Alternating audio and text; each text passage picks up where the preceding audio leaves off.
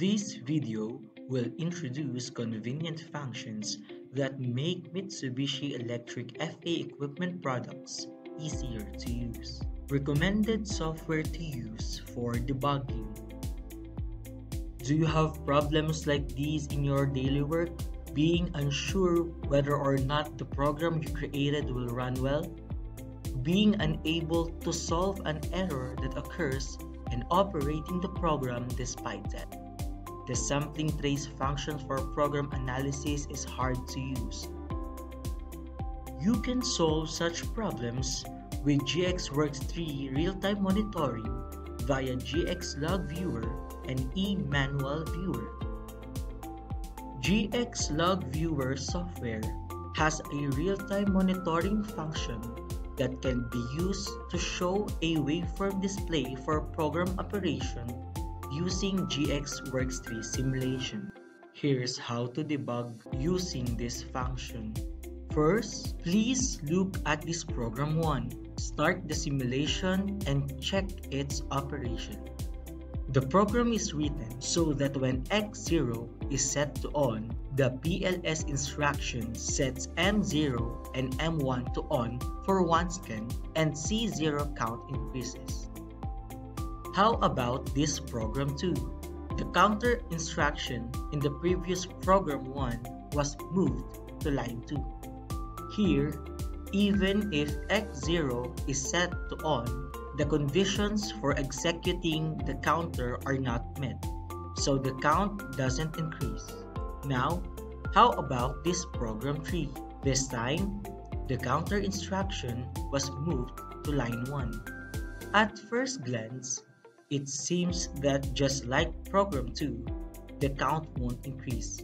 But actually, the count increases each time X0 is set to on and it looks like the operation is the same as program 1.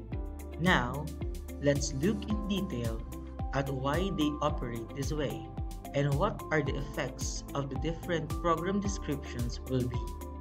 First, we'll use GX Log Viewer's real-time monitoring function to check the device on timing as a waveform. Let's stop the simulation for a moment. Now, Launch the GXWorks 3 simulation again and start the GXLog Viewer real-time monitoring function. Select RCPU simulator as the connected device. Then input the device to check using the GXLog Viewer real-time monitoring function. And after starting monitoring, run the program using GXWorks 3 simulation. After the count has increased, let's stop the program. The waveform is shown. Let's look at the waveforms for programs 1 and 3. This is the program 3 waveform.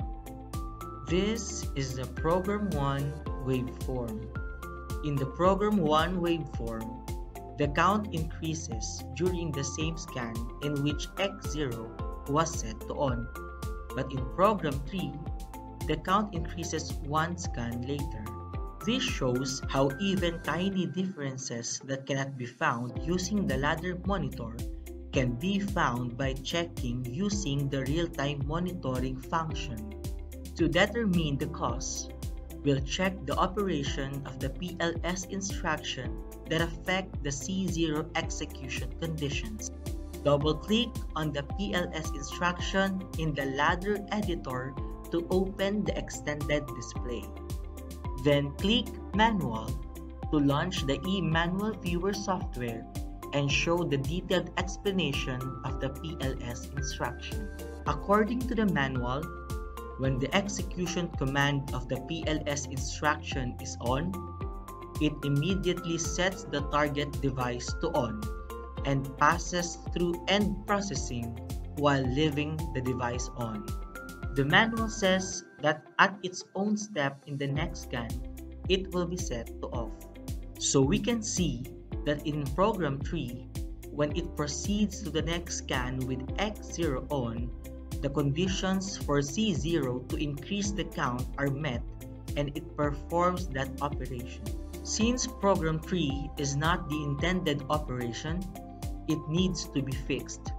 But such tiny differences might be difficult to find during operation verification on actual equipment. As the number of program steps increases, program mistakes like these become even harder to find.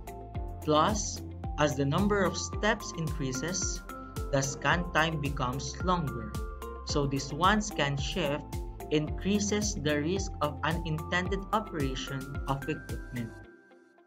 The cause location of even tiny misoperations that are difficult to find using just the ladder editor monitoring screen can be identified using this approach.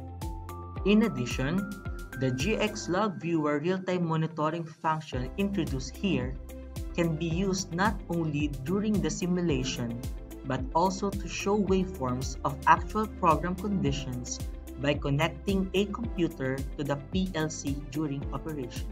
When the GX Log Viewer and eManual Viewer shown in this video are installed, when GX Works 3 is installed, they can be used immediately. Or, you can download them free of charge from the Mitsubishi Electric FA site. Please be sure to give it a try.